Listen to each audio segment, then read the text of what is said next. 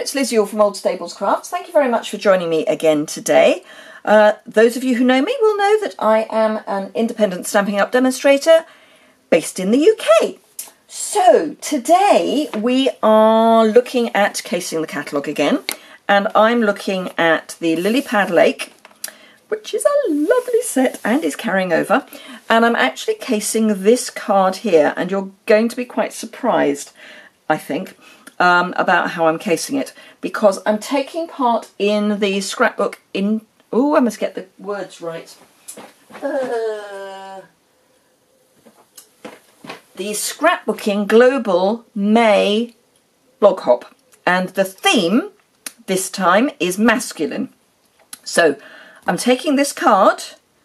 I'm not using anything from Lilypad Lake and I'm going to turn it into a scrapbook page. I'm going to use new product. And the new product is from the Come Sail Away, yes, Come Sail Away suite, which is in the new annual catalogue. Um, these are the designer series papers. They will be coming to you at the beginning of June.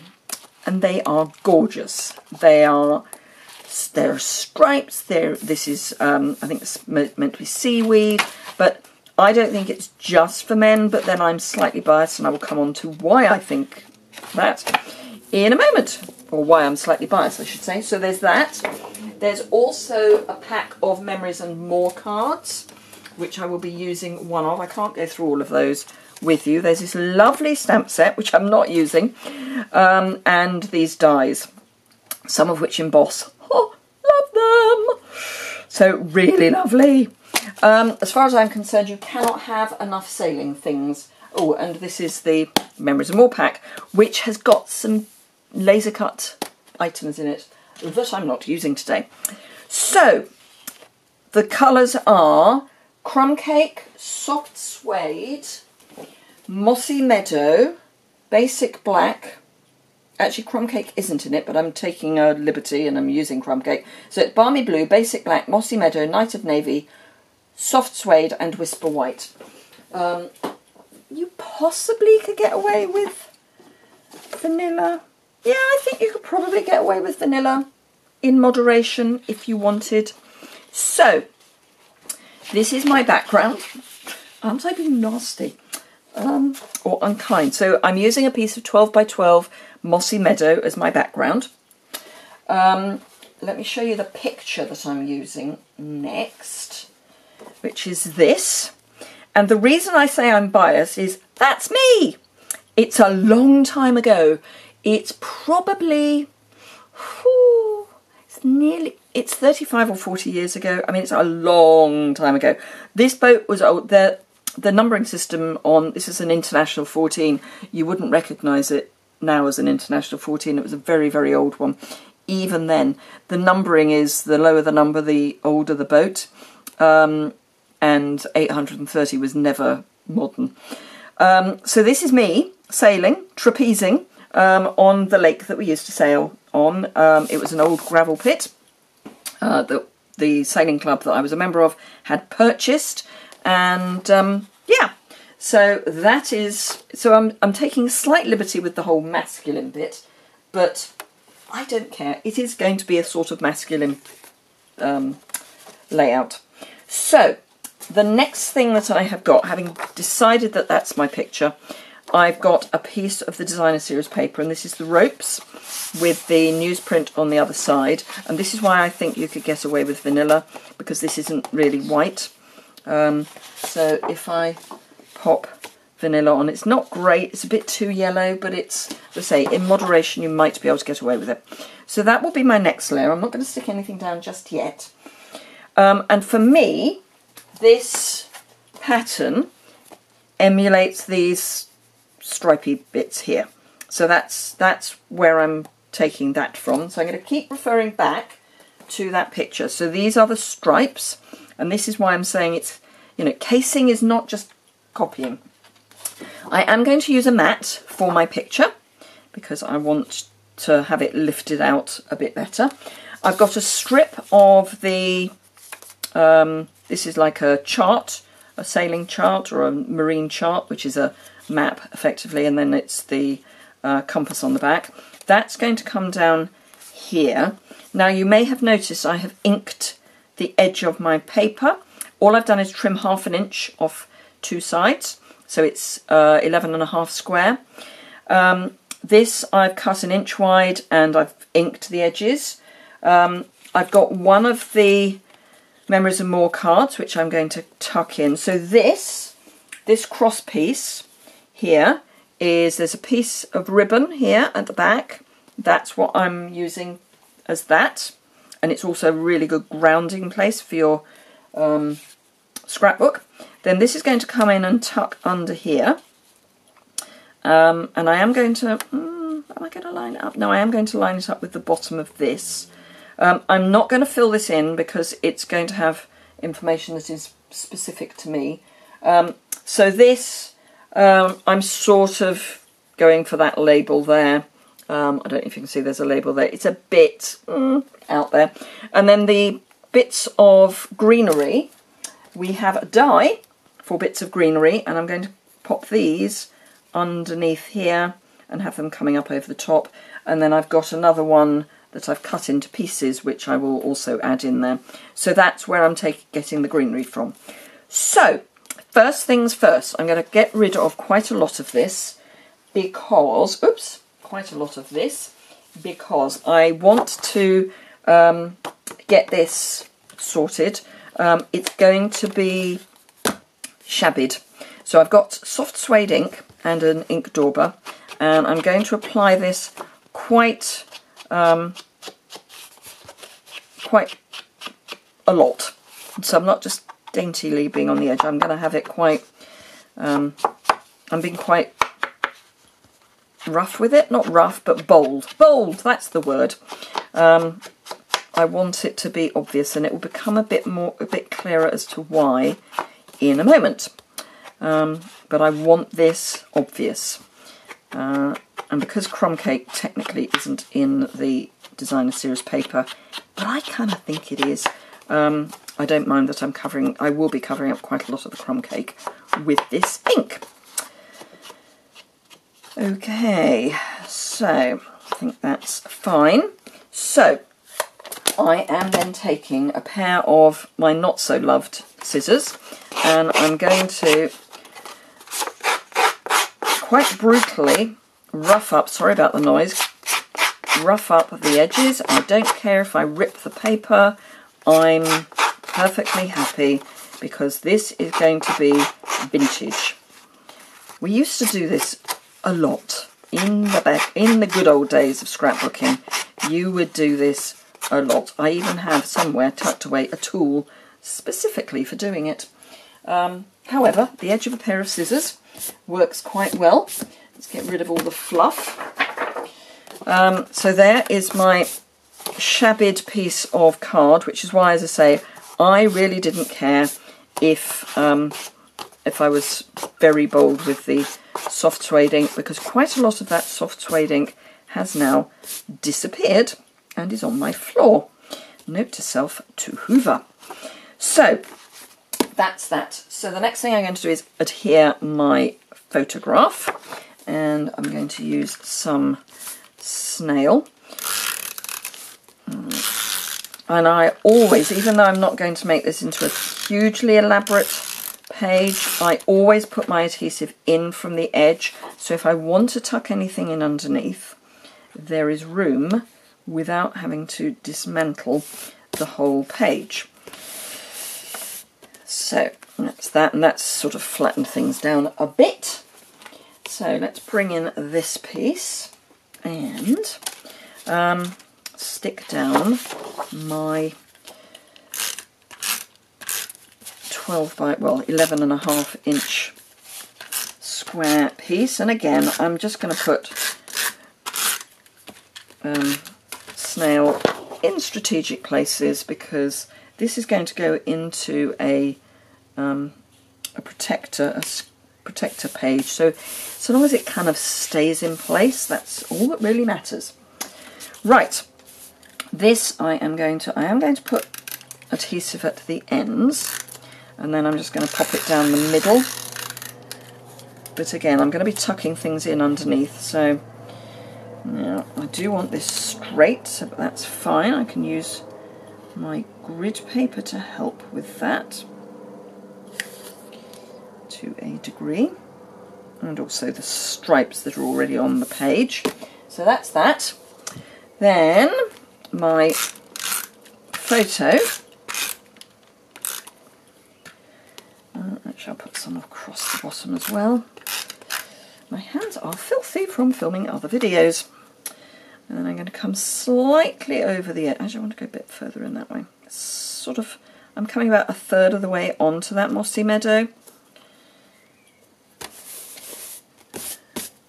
And then this piece, I'm going to tuck in underneath so that you can still see date, place, story. And then I want my fronds. Uh, I think I'm going to go in underneath, and this is why yeah this is why I don't like sticking right to the edge when I'm doing scrapbook pages. Let's clean that up because it's horrible. Get a scrap. It's better. Right, so I'm going to put a bit of adhesive at the bottom and then at a couple of places just to keep body and soul together but I don't want to go mad at this stage because I'm going to tuck some more bits underneath. So I'm going to come in and just shimmy that under there. And then before I actually stick it down, I want to add another of these long fronds underneath.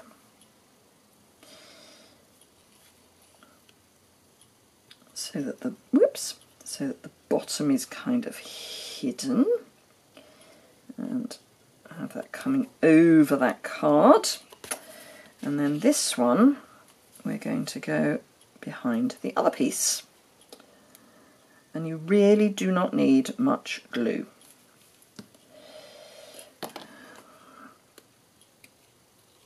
So that will have there. And then stick all that down, and there's just a bit of frou-frou, but in a masculine way, which is, after all, what we're looking for. Now, um, on the picture, there's this twine. It's the linen thread. So we have got in the um, suite this baker's twine, which is Sahara Sand and Night of Navy. So what I am going to do is emulate the linen thread by wrapping. Now, where am I going to want the bow? Because I do want a bow. Probably, mm, no, I think probably there. Okay, so I'm going to come round a couple of times.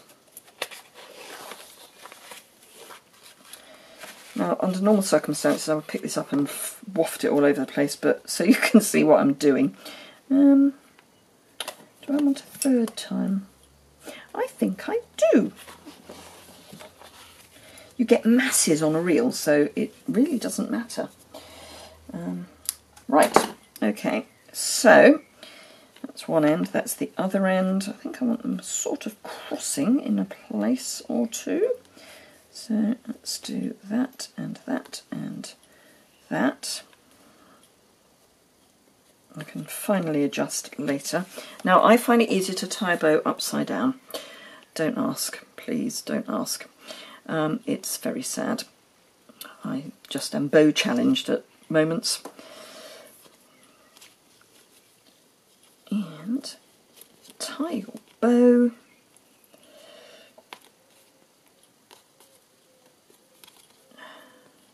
Now there are some little trinkets.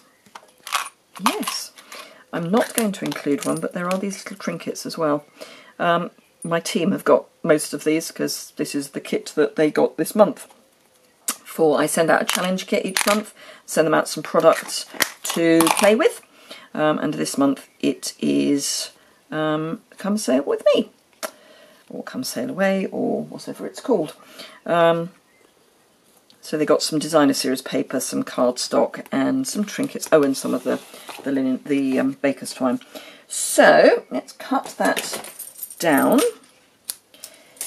And that, once I have popped this story in, is pretty much going to be it. The only question I've got is whether I want to add some more bits up here. Um, hmm. There's part of me that wants to. Where are we time-wise? 15 minutes. Okay. Let me see what I can see that I might like to add. Um, I don't want to get too far away from my original um, my original design. Uh, ooh, I know what there is. Ooh, I've had a thought. So if I have a look in the Memories and More pack, there are some stickers. So let's have a look at the stickers, which I happen to know I put at the back. Now you get two sheets of each of the stickers. So there's two of those and two of these. So, don't know that any of that's appropriate, but um, no, I'm not convinced. And the reason I'm not convinced is this is quite a busy background and I don't think no. No. No. No. Not going to happen. It's not happening. It's not. Um, so, no is the answer. I don't think I will. Unless there's anything obvious that I can grab from the Memories and More cards. No, not really. Not in a quick moment. What's on the other side of that? No. These are very, very, very good for both cards. I mean, Happy Father's Day. In the UK, that's coming up on the 16th of June. Um, so if you're if you have a nautical theme for your Father's Day, that would be good. No, um, I think I'm happy with what I've got, and that's why I can't find anything else to put on there. So I hope you like that. Um, it's a quick introduction to um, the Come Sail Away pack suite, um, which, as I say, it's coming on the 4th of June to a shop near me, because obviously I would love it if you would like to shop from me.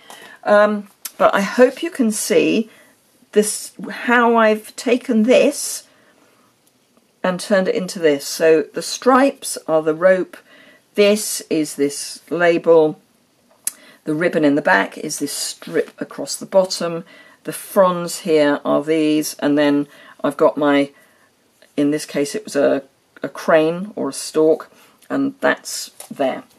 So it takes a few liberties, but I like it, and that's kind of what matters. So thank you very much indeed for watching and joining me today. Um, as I say, most of these products are not available at the moment, um, other than the cardstock. None of this is available at the moment, so... Mm, um, oh, apart from the ink as well. But uh, do look out for it coming on the 4th of June. Enjoy the rest of the blog. Sorry, blog hop, which you can get to that. My brain has given up. Um, if you there's a link below that says associated post. If you click on that, you'll go over to my blog and there you will see links to all the other people that are taking part. It's going to be an amazing blog hop. I think I'm really looking forward to seeing what everyone else has done. So do go and have a look. Um, I hope you found that interesting and I look forward to seeing you again very soon. If you are new to me, don't forget to subscribe, which is in the bottom right hand corner. And if you've got any questions or comments, do please leave them below the video. Thank you very much. Bye.